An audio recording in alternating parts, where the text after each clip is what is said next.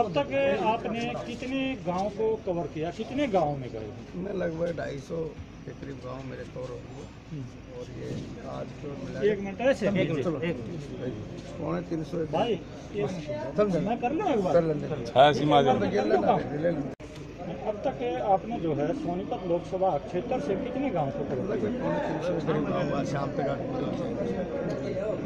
और लोगों में बड़ा भारी उत्साह है और भारी बहुमत से हमने चुनाव जीतने कम से कम भी दो लाख से ऊपर का मार्जिन अब जैसे कांग्रेस में इधर भूपेंद्र सिंह हुड्डा कह रहा कि कई गाँव में जो है जाते हैं तो विरोध हो रहा है इस तरह की बातें? उनके एक दो आदमी अपने वो खड़े कर देते होंगे। उनका यहाँ वोट गिनी जाएँगे जब पता चल जाएगा कितनी वोट है। मैं इसके बारे में कुछ नहीं कहता। अच्छा गाँव के ग्रामीण भी कुछ इस तरह की बात कह रहे हैं कुछ नहीं कहते जिन्होंने पर्चे वो ऐसा है का आदमी जो मैनुपलेटेड होता है, उनके पास वो फ्रस्ट्रेट है।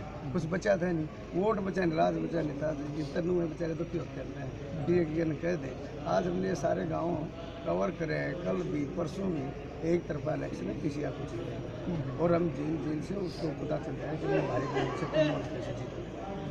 तो जिस तरह से अब जो बड़े नेता आने होते हैं यहाँ तो बड़ी रैलियाँ जो होनी है वो कब से शुरू होने वाली है अट्ठाईस तारीख को मुख्यमंत्री जी आ रहे हैं करकोटा और प्रधानमंत्री जी रैली हम घुमाना का नहीं सोचते कि घुमाना सेंटर प्लेस पड़ता है घुमाना नौ के नौ हल्के हमारे कवर हो जाते हैं। तो उनका टाइम आ जाएगा तो और भी बहुत सारे अमित शाह भी आने का ऐसे उनका भी आने का हाँ हाँ।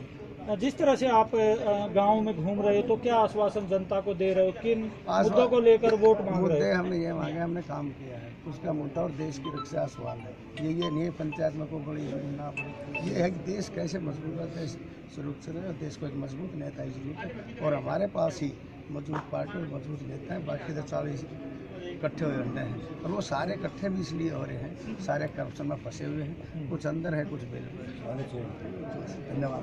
अली बाबा